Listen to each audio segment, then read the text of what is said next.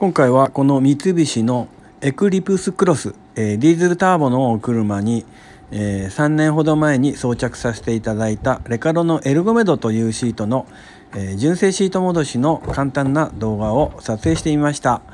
えー、朝のうちに200キロの彼方から、えー、ご到着いただき2人がかりで、えー、ちゃっちゃか仕事をこなしております。なおこの、えエルゴメドにはシートヒーターも組み込まれておりますので、え他の普通常のお仕事より少し時間がかかっているようではございますが、え順調に作業が進み1時間前後での作業終了となりました、え次のお車は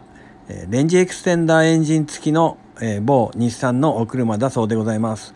今回は、えこれにて、え純正戻し、え北の方向にお帰りになりました。安全にお帰りになることをお祈りしております。